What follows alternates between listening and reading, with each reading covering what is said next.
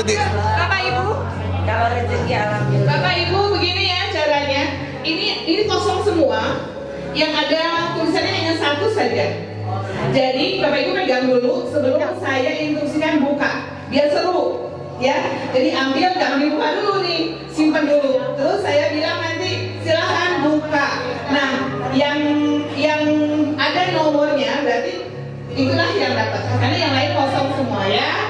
Jangan dibuka dulu biar seru.